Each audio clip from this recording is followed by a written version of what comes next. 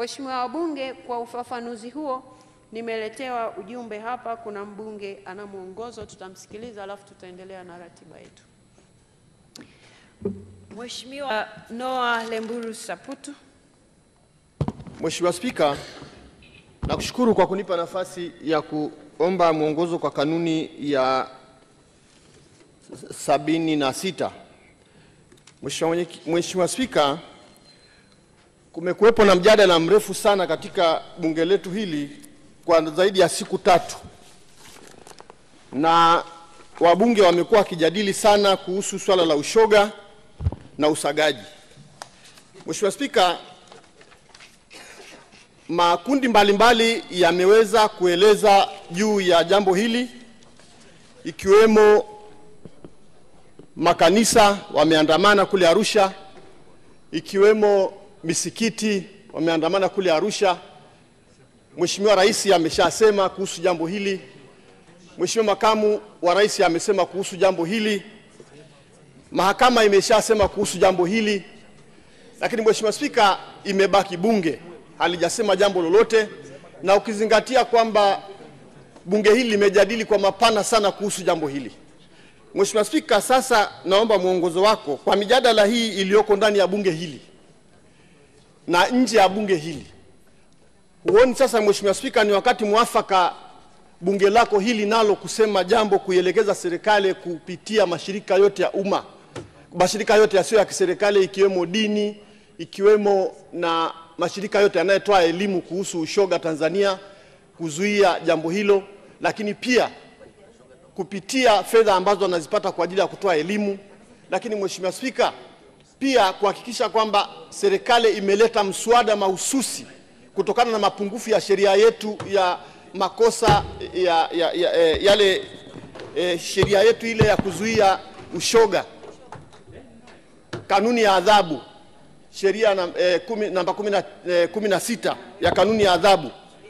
Ili iweze kutungwa sheria ambayo ni mahususi kabisa kama nchi nyingine ya, ya Uganda ili kuweza kuhakikisha kwamba jambo hili ndani ya jamii yetu inazuiliwa. Mheshimiwa Spika, Mheshimiwa Spika, naomba mwongozo wako kwa mjadala huu ulioko ndani ya bunge hili na nje ya bunge hili katika nchi yetu ili kunusuru taifa letu na ushoga na usagaji ambao umekithiri kuanzia shule za msingi mpaka sekondari. Asante Mheshimiwa Spika.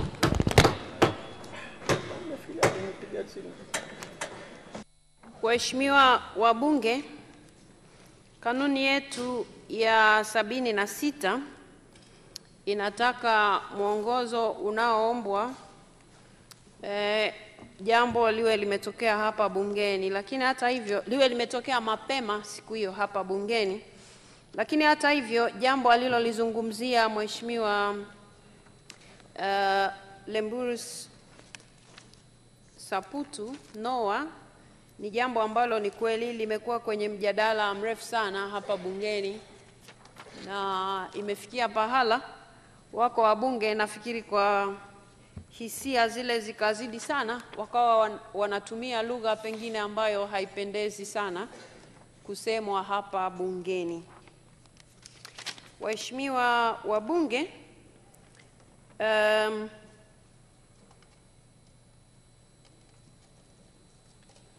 Waheshimiwa wabunge, kwa muktadha huo na mijadala ambayo imeendelea hapa ndani, nafikiri ni kwa sababu hoja ya Mheshimiwa Waziri Mkuu ya budget huwa inahusu mambo mengi na inahusu kimsingi mambo yote yaliyoko kwenye jamii.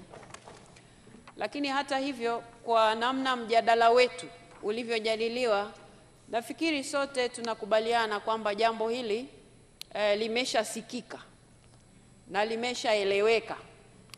Uh, limeshaeleweka kwa maana ipi? Sote tumesikia wananchi wakilizungumzia, lakini tumesikia viongozi wetu wakilizungumzia, viongozi wa dini, viongozi wa kiserikali pia wamelizungumzia, na kwa muktadha huo serikali imeelewa kitu gani kinapaswa kufanyika kwenye jambo hili.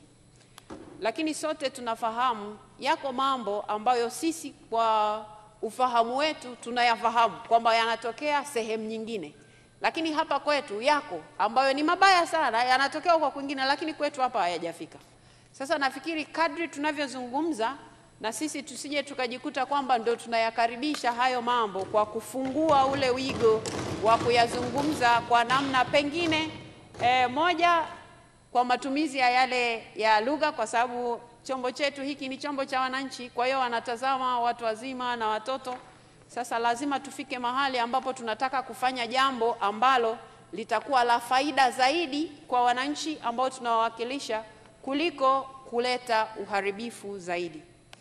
Kwa muktadha huo, kwa kuwa nchi yetu e, inafuata utawala wa sheria na michango mingi imetolewa humu ndani ya mapendekezo hapa na pale, lakini iko michango mingi ambayo kimsingi ni ya malalamiko, yaani mtu analalamika kwamba jambo hili, jambo hili, jambo hili.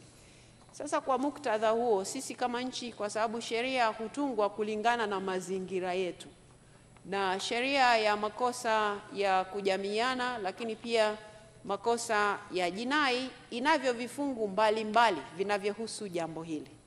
Sasa ikiwa yako mapungufu kwenye hivyo vifungu ambavyo viko kwenye sheria, tunayo tume yetu ya kurekebisha sheria ambayo inaweza kulifanyia jambo hilo kazi, na ili tu, tutoke tukiwa tumeelewana vizuri na waheshimiwa wabunge, mjue michango yenu mizito imeshachukuliwa na upande wa serikali.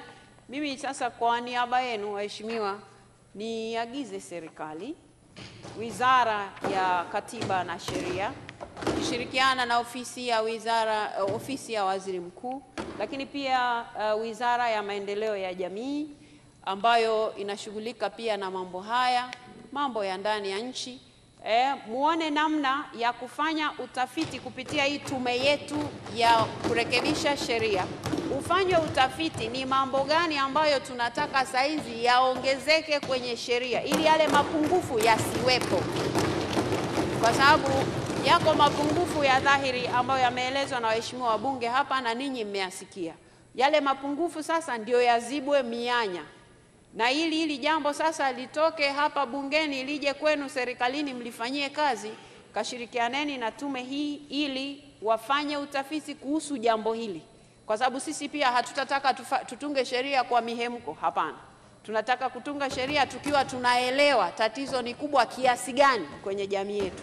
Maana watu hapa tu tunasema limeongezeka kwa kiasi gani hatujui, ni kubwa sana, ni kubwa sana kwa kiasi gani hatujui.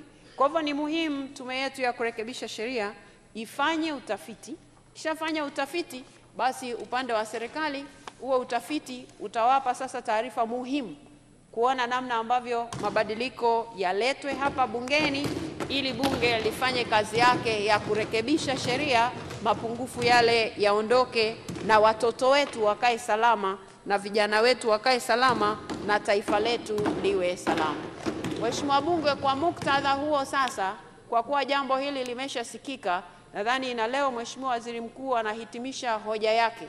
Hoja zinazokuja tujikite kwenye hoja za bajeti ambayo iko mbele yetu, lakini pia hoja ya utekelezaji wa bajeti ambayo inaendelea.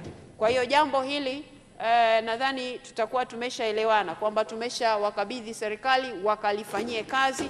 Bunge kama chombo cha kutunga sheria, tutatunga sheria kulingana na taarifa hiyo ambayo wenzetu watakuwa wameipata, na, na hivyo madhaifu yote mliokuwa mmeyasema yatakuwa yanafanyiwa kazi, na wakati huo sasa tutapata mjadala. Sasa hoja hii ndio itakuwa iko mezani, kwa hivyo tutaijadili tukiwa na taarifa kamili. Kwa hivyo kwa sasa, kwa bajeti zijazo, niwaombe tujielekeze kwenye hoja za kibajeti. Asanteni sana. Waheshimiwa wabunge, sasa tunaendelea. Katibu